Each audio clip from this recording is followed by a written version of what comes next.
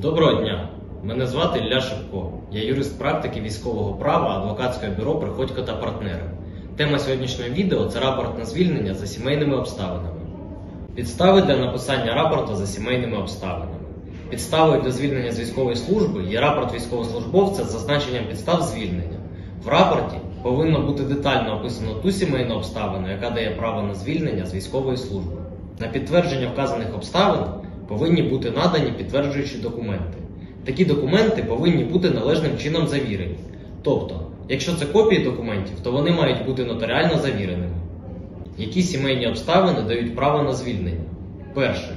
Інвалідність дружини або інвалідність першої та другої групи батьків військовослужбовця або його дружини. Друге. Перебування на утриманні трьох неповнолітніх дітей. При цьому неважливо, чи ці діти від одного чи від різних шлюбів.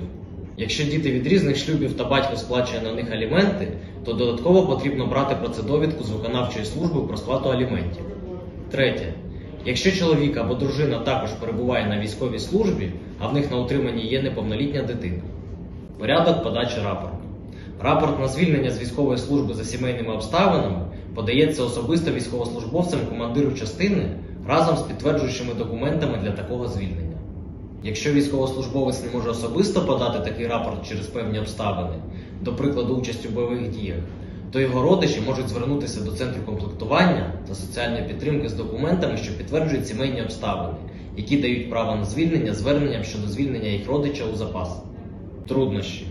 Навіть за наявності всіх підтверджуючих документів немає гарантій, що все пройде гладко та військовослужбовця швидко звільнять з військової служби. Рекомендації. На практиці військовослужбовці можуть зіштовхнутися з тим, що командири частин часто ігнорують такі рапорти, не розглядають їх або вони зовсім губляться. Для цього рекомендується за можливості подавати такий рапорт в двох примірниках: один подавати командиру, а інший з підписом про реєстрацію такого рапорту зберігати в себе. Тому в таких випадках не варто ігнорувати допомогу фахівців в галузі права, адже звернення до юриста з військового права значно підвищить ваші шанси на успішне вирішення вашої проблеми.